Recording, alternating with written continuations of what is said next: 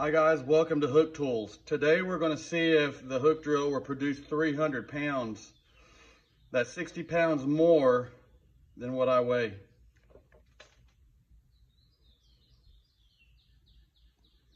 I weigh 240. I'm going to push this button right here, slide the hook out. We're going to slide it under the metal and then simply drop the hook and drop the drill bit onto where you want to drill. All I'm going to do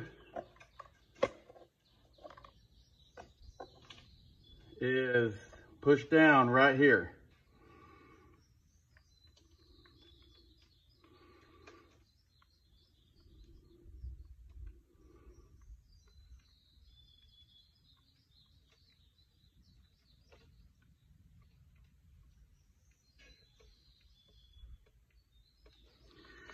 You see it stopped at 300.